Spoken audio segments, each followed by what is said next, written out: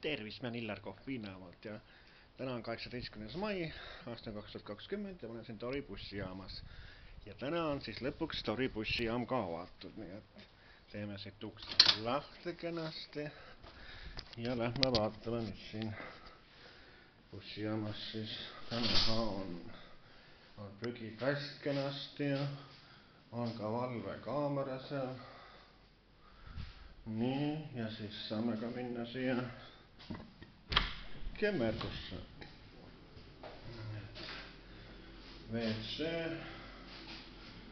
peegel, siin saab käsi pesta, kuivatada ja siin on siis selline koht, kus saab et loomulikke vajadusi rahuldada.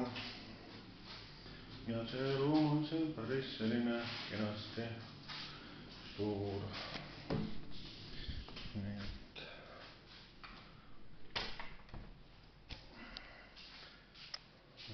siin saab kõik uks lahti uuesti ja ja ukse kinni panna.